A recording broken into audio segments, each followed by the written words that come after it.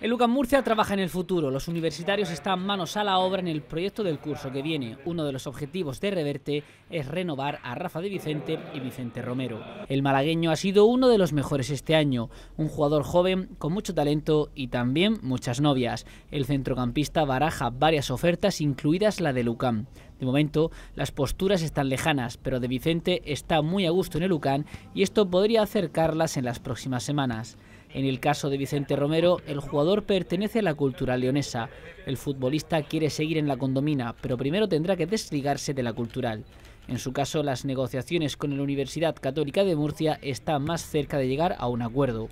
La renovación de ambos sería una gran noticia para el UCAN, que se aseguraría una de las mejores parejas en el centro del campo de la categoría, un seguro de vida para acometer nuevamente el objetivo del ascenso.